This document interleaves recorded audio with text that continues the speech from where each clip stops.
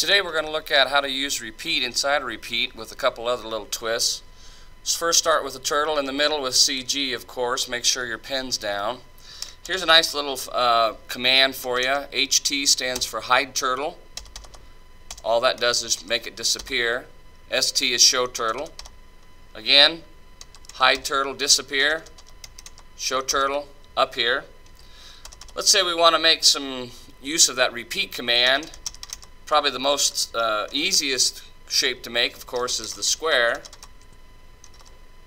Repeat 4, forward 100, right 90. Anything inside the brackets is done four times.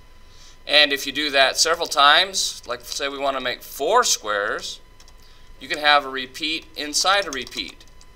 I'm going to make four squares, and if I don't do anything else, I'm going to do four of them on top of each other. It just goes so fast you can't see it. Here's a new command. Wait. That's actually wait two tenths of a second. It'll go once, twice, three times. Oh, didn't see it. Let's wait a little bit longer.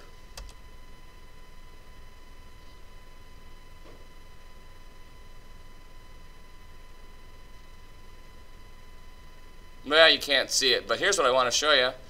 If you turn right 90, It'll go once, twice, three, and then four.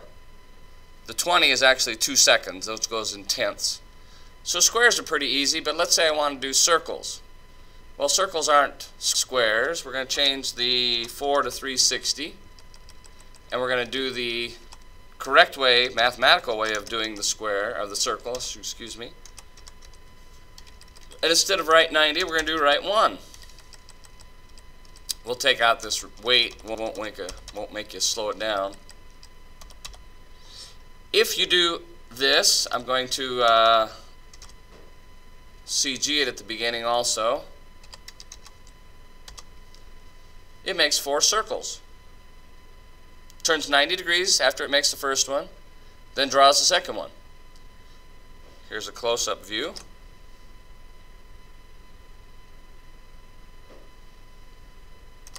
Now, if I want to make a lot more circles than that, let's say I want to make 20, the repeat 360, the first one, inside the brackets, that still makes a circle. But I want to turn. But 20 doesn't go into 360 90 times. 20 goes into 360 18 times. So 1, 2, 3, 4, 5, it makes 18 circles all around the center. Pretty cool, huh? You could color them in. We'll talk about that later. If I want to make them bigger, the 20 is the same. The 360 is the same, but it's the 100 that needs to be changed because it is going to be bigger circles. And that's all I have for today. Lesson 4A.